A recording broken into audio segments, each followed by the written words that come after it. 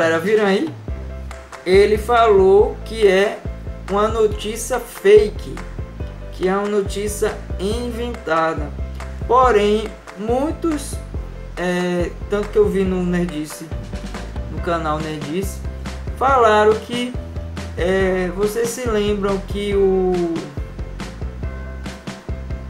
não me lembro sobre o assunto, mas mas teve uma história aí, né, que o que o canal não ia trazer um um o como se fosse é,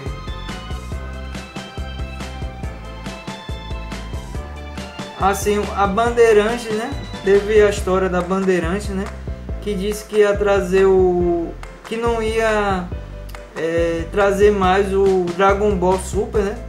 E acabou trazendo né? Foi essa história aí. Não me lembro alguma história assim né? Mas é isso galera. Eu acredito, galera, que ele tá falando que ele não quer falar no momento, né? Mas quando ele é, se aproximar, o projeto se aproximar da sua estreia, né? Ele realmente vai falar que foi ele mesmo que comprou a rede manchete de televisão, não é isso? Então é isso, galera. É um vídeo super bem rápido, né? eu vou analisar novamente o, o vídeo do, do canal Nerdices, né?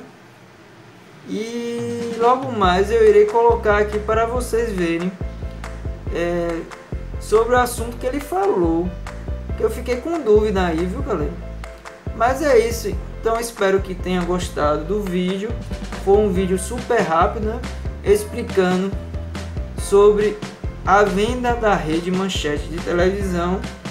É, eu já expliquei no vídeo anterior que é, ia ser muito difícil é, essa nova televisão da rede manchete passar os programas que passaram nos anos 90 pelo fator do, do pagamento das pessoas que participaram daquele momento, né?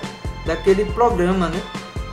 Mas é isso, galera. Eu, eu espero que tenham gostado do vídeo. Então é isso. Se ainda não é inscrito no canal, se inscreva, clique no sininho, dê o seu like e compartilhe.